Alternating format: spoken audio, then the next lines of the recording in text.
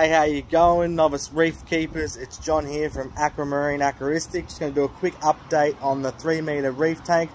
It is a bloody heat wave here in Melbourne. So let's get into the nice aircon and see where we're at. So here we go.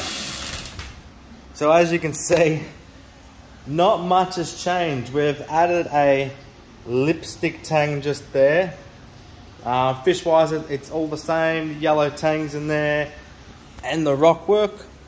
So what we've done here is we've just allowed it now to establish over the past three or four months. Oh yeah, and we've also added a little gold Midas Blenny. You see him just hanging around there. So not much has happened. Um, past couple of days we have added a few coral.